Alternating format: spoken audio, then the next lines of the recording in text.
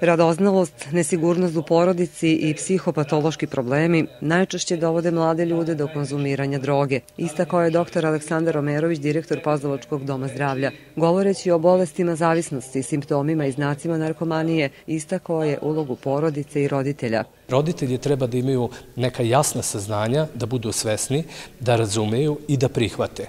Prihvatiti situaciju koja je vezana za narkomaniju, za konzumiranje, za pokušaje probanje i tako dalje, znači da roditelj u svakom trenutku zna kako da se ophodi i kako da spreči dalji kontakt sa drogom ukoliko je dete upalo u taj vrtlog. Upravo su roditelji ti koji najčešće ne vide ili ne žele da vide problem, o čemu govori i podatak koliko njih dolazi zajedno sa decom na terapiju. Mi na metadonskoj terapiji imamo nekde oko 20 pacijenata. Metadonska terapija je vrlo specifičan vid lečenja narkomanije. Ona se odnosi na davanje metadona kao zamene za drogu koju je nekada konzumirao narkoman.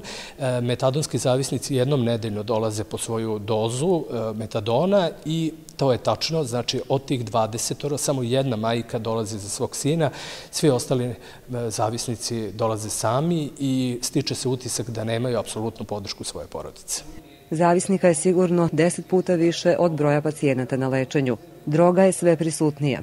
Kokain i heroin sada se pojavljuju i u osnovnim školama. Policija je pojačala kontrolu i u nekoliko navrata uhapsila dilere droge u zonama škola istakao je zamenik komandira policijske stanice Staropazova Dragan Vranješ. Protiv narkomanije se mora boriti svaki dan, što policija i čini. Dodao je Vranjež i napomenuo da je osim telefona 192 građanima od skoro dostupna i e-mail adresa. Crveni krst organizovao je ovo predavanje upravo sa akcentom na škole. Iako veći odziv nego prethodni put, ipak je nedovoljan s obzirom na razmere problema narkomanije.